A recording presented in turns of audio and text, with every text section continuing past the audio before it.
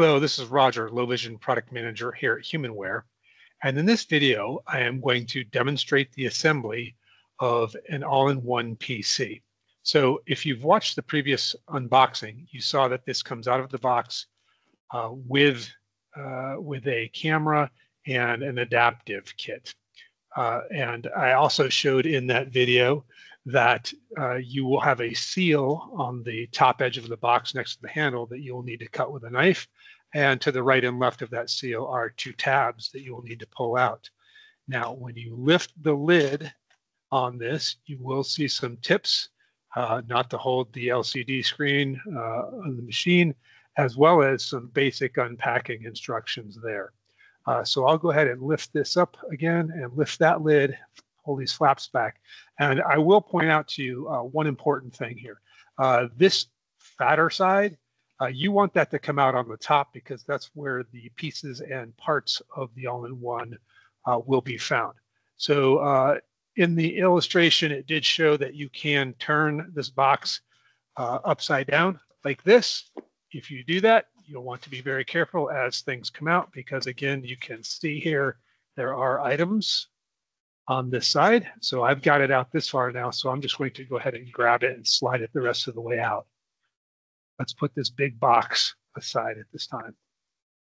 So here you can see the contents of the all-in-one uh, PC box. Now, I will note, I have also gone through here and taken the items out of their plastic wrapping, so you will have to unwrap each of those um, as part of this process. So here in this brown cardboard box, we'll open this up here, flip it over on the front edge here, uh, and there's a tab that I pull out there. Open this up, and inside of here, I find my all-in-one keyboard and my mouse. So let's go ahead and take those out of the box. Now these are wired, so the, they are tucked away in the side of the box here. So I'm going to take each of those out and set them to my left and we will come back to those in a little bit. So those are my keyboard and mouse.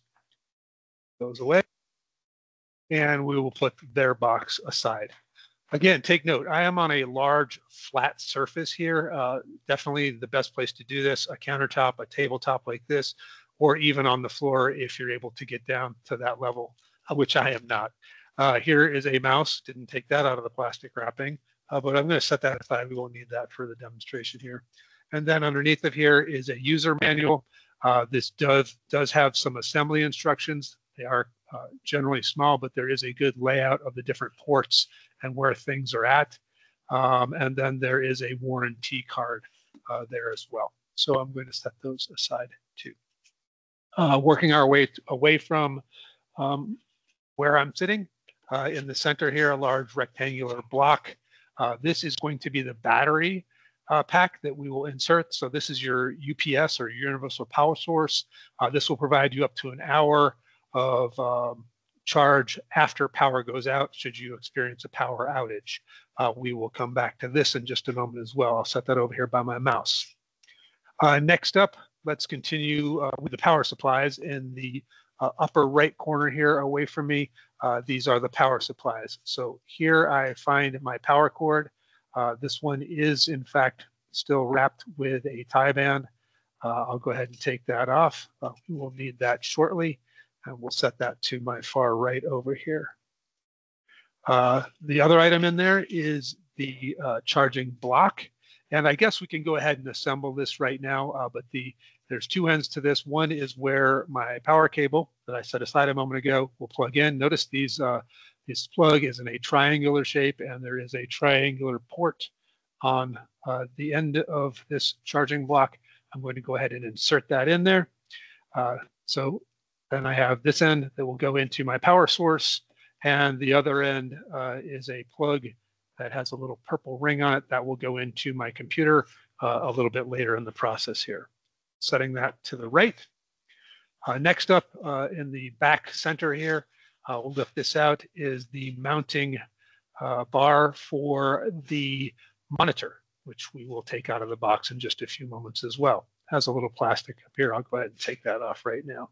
Again, remember, these were all in plastic before, so you'll have to remove that as part of the process. I believe the last item here on this side of the box is the stand itself. So I'm going to take that out. It is a nice little triangular shape. It has a very small footprint uh, when you set it up on your table or desktop. Um, but on when I invert this over, you will see a little key on the bottom here, silver, uh, that we will use to screw this in to the stand in just a moment. Set that to my left. And now I'm going to go ahead and remove this box here. Oh, I heard one more item there. So down here with my power supplies is my cable organizer. So we will go ahead and apply that in just a few moments as well. So we're done with this side of the box. We will remove that now. And the last item that is here now is the all-in-one PC monitor itself, 24 inches. So before I take it out of the box, I'm going to tilt it up here um, and show you the different, let's take it out of the uh, styrofoam first so you can see it a little bit better here if I can get a hold of it. There we go. So across here, uh, starting from left to right, again, this is away from me. There's a notched out area here that I can feel a large notch in this. Um, I have, I'm going to work from my left to my right. Uh, there is the port where my power will go in. There is an HDMI port for video out, uh, so I can send video out from my PC. There is a VGA cable, so that's an older style connection if you need to connect a VGA cord. Uh, then continuing to the right in the very center um, are two USB ports. To the right of that is an Ethernet port. If you uh, need to connect to a LAN, you can connect a cable connection to your network there. Continuing to the right, uh, these are indicated in a little aqua color, are two more USB ports. And then you will find your microphone port and a jack for uh, your earphones if you're using earphones with the uh, monitor as you're using your computer. So I'm going to lower this back down again and slide it a little bit further away from me. Um, oh, I, there's one more thing I want to show here because before I assemble this on this bottom edge here, lift this back up one more time here. Um, so there is uh, to my left right now, there's the port. I'm opening it right here. It's a little door. That's where my battery is going to go in. And then to the far left uh, is my power uh, power button. You can feel it right there. So again, this is where that adaptive kit could come in helpful. It's a little bit hidden on the bottom once we get it assembled. So you might want to apply one of those adaptive kit labels there as an indicator of where the power button is. Um, so at this point, um, I'm going to go ahead and do this right now. Um, I have my power supply here. This is going to slide into uh, the unit in this door. So let's go ahead and take care of that while we're right here right now. So I'll go ahead and set it up against the door there. And I notice, oh, it doesn't want to go in. So don't force it. If you feel it get stuck like that, there is a little lever here. I'm going to rotate this over and try again. And now it slides right in and clicks in place. Now you'll notice that there is a, a 12 volt USB-C uh, connection there, as well as another USB connection uh, and a power button if you need to check the charge there. So uh, you can check the charge. Now, if you need to take this out, there is this little lever in the center of it that you can pull and you can take it right back out again. I'm going to leave it in. So again, if you start to place that in there and it doesn't want to go, don't force it. Take it out, rotate it over, and try again. So now it is clicked into place there. So we won't have to deal with that later. Okay, so the next thing we want to do is go ahead and assemble our stand.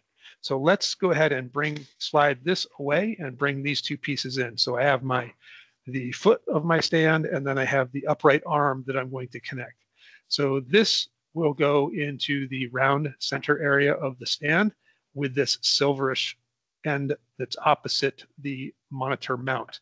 And I'll try to place that in there and mine went in straight away. So you can see that this this rectangular or square area is facing towards the triangle of the stand here. Uh, so I got it the right way. But if I was trying to put it in the wrong way, notice um, that is not wanting to go in at all in any of those other locations. So you can sort of rotate till you feel and it will drop right into place.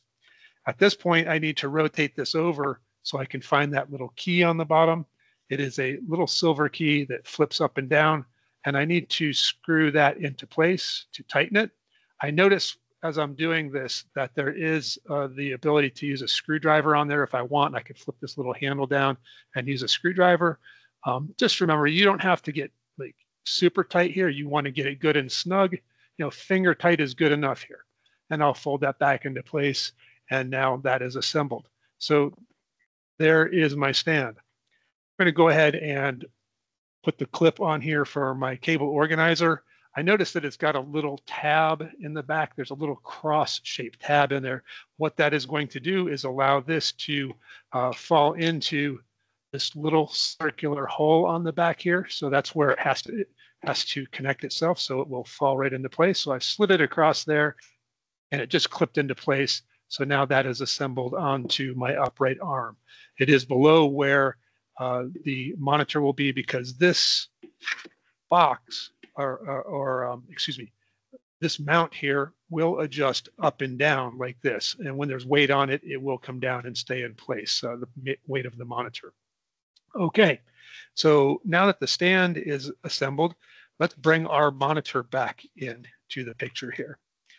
And I'll bring my stand over. Take a look at this rectangle here. Uh, there are two tabs off the side here. And then on the top edge, there are two black tabs up there. If you take a look at uh, the screen here, I'll set this aside and see if I can show these. I'll tilt it up. There are two ports there and then I'll rotate it this way. Not sure how well this will come out, but there are two, two uh, ports here that are a little bit closer together. The two farther apart, if I look at my mounting bracket again, these are far apart, these are close together, these are far apart. So that means these are going to need to go in up here. So I'll rotate this over and I will lift my monitor a little bit they're in place, and now I'm just going to rotate this down until I hear a good click. It's not going to click, so I'm going to pull the little lever that I see here, and now it's fallen right into place. So I probably do need to pull that lever to my right right now, and then it clips right into place, and this went back to where it was, and it is locked in right now. So before I rotate this over, again, we're looking at the bottom edge where that big notch is, and I have my uh, arm off to the side here. I'm holding up the left side. I'm going to go ahead and pull on this and rotate it over. So now I can grab hold of things here and rotate this up into an upright position. So we are almost there right now. So that's how it's going to stand up. Uh, you can do this from this position if you want and connect all of the peripherals that you want to use. Um, I'm going to turn it over again once more just so you can see where each of these plug into the device. So I will lift it up. I will use that styrofoam as a tray to set this onto. And I'm going to connect each of my peripherals here. So my mouse here, I'll go ahead and plug that into the USB port that I see right down here. I'll lift it up, plug it in right there. It's not going to hurt this to uh, fall around a little bit. Got a good long cable onto it. I'll bring in my keyboard here. This has got a good long cable as well. They have Velcro ties on them, so I'm going to loosen this one up because I don't really want the keyboard flopping around when I move things. And I'm going to set that off to my far right since I'm right-handed. And I will go ahead and tilt this up again so you can see the ports on the bottom there. And I'm going to plug this into the second port. So it'll be right plugged in right beside my mouse uh, down there. Again, this mouse has that Velcro so I can loosen that cable up when I'm ready. To my far right here, I have my power cable. So I'm going to go ahead and set that to my left now. And again, I'm doing this so that you can see it. Uh, looking at it right now, on the far left is where the power supply plugs in. So I'll go ahead and bring that in. I'm bringing it in with uh, the cable facing away from the back of the unit and plugging it into that round port right there. And now that is in place as well. So all of the uh, peripherals are now connected.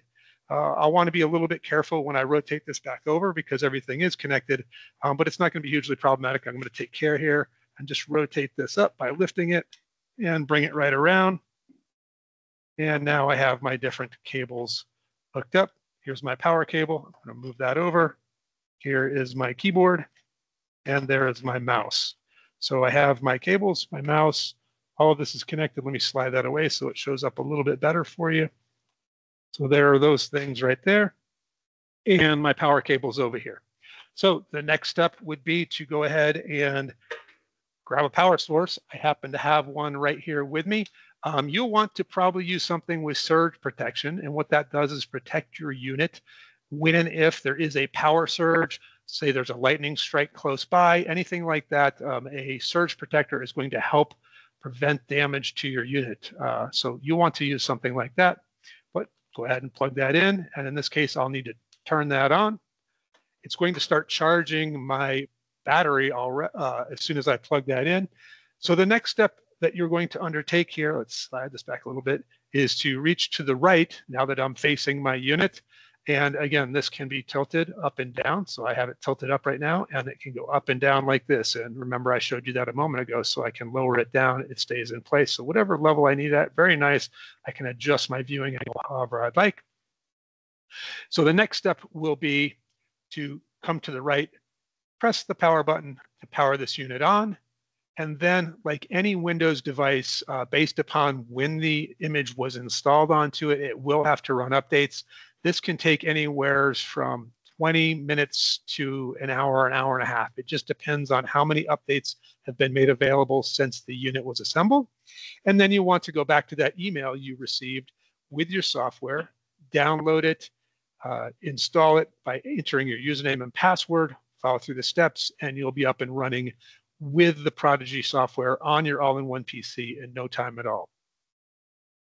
I hope that you found this video to be useful in getting started with your all-in-one PC. As always, take a look at the description of this video and click on that feedback link to let us know how we're doing.